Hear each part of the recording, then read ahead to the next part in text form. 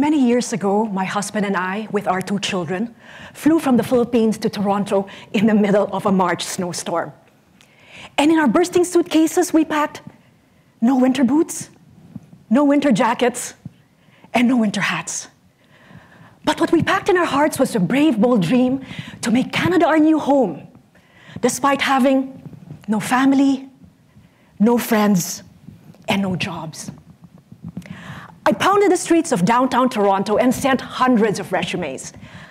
I was a lawyer with international qualifications and experience, and yet employers refused to hire me, even as a legal secretary, because they said I had no Canadian experience. I faced many barriers as a woman, a person of color, and an immigrant.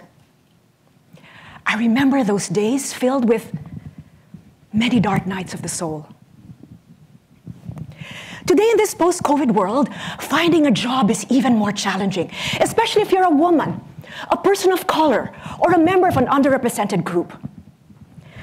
I think of the story of Professor Latanya Sweeney. She's a Harvard professor, and she's known as the first black woman to receive a PhD in computer science from MIT. One day, out of curiosity, she Googled her name to find out what search results would appear. And she was shocked to see that online ads suggesting she had a criminal record appeared in her search results, saying, Latanya Sweeney arrested, enter name and state, access full background, checks instantly. Research shows that when you conduct an online search of names typically associated with black individuals, online ads suggesting they have a criminal record appear 25% more often than those of white individuals. This goes to show us that algorithms can be biased and even racist. Paraphrasing President Barack Obama, who said, Johnny may get the interview after he sends his resume, but Jamal may just get ghosted.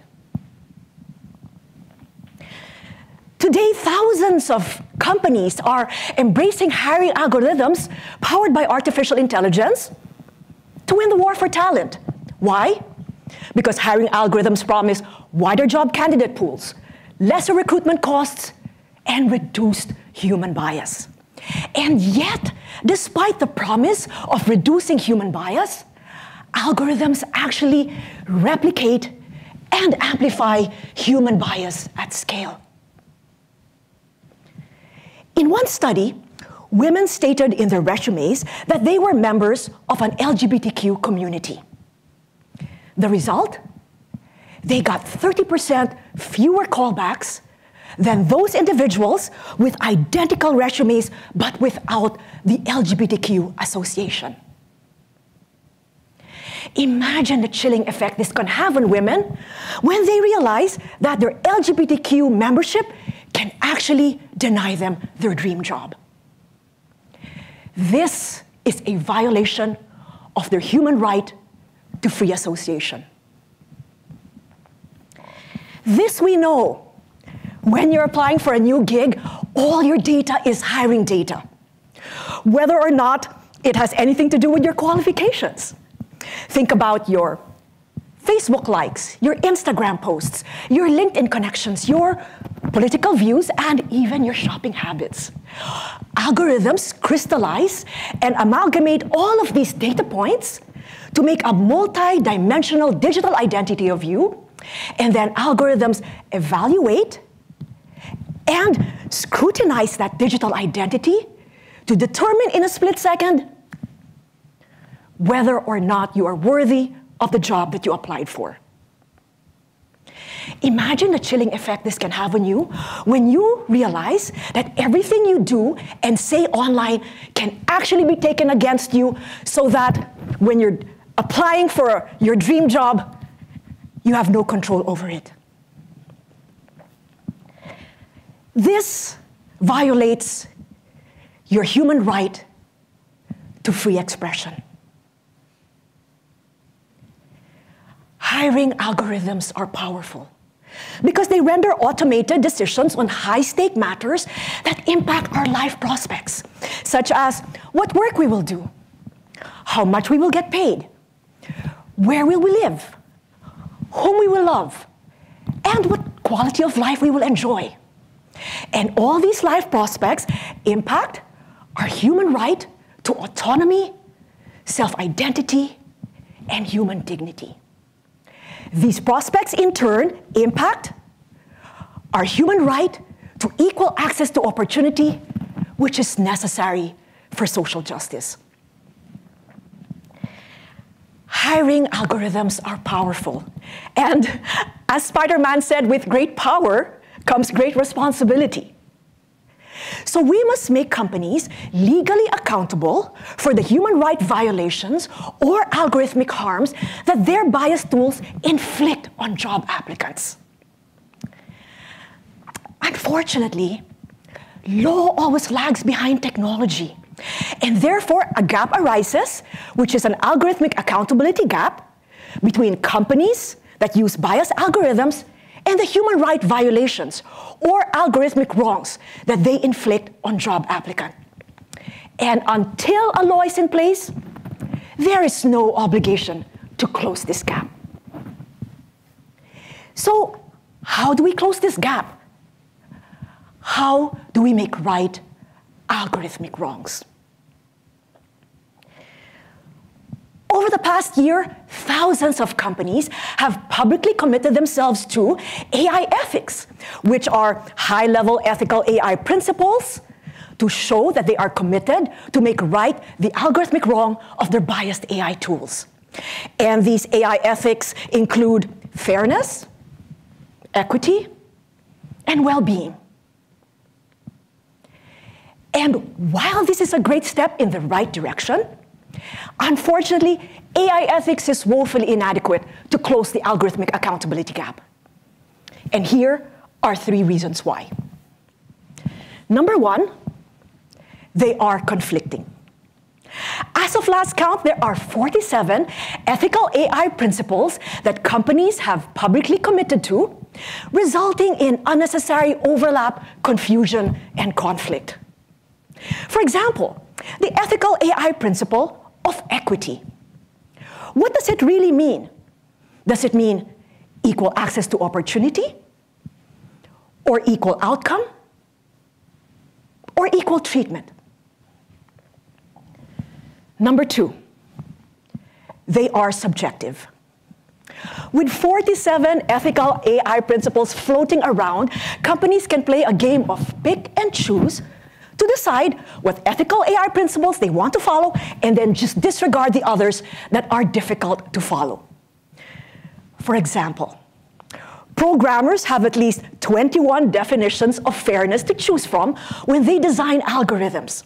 And their subjective choice depends on what definition of fairness they want to choose, which is based on their values, their lived experience, and their unconscious bias.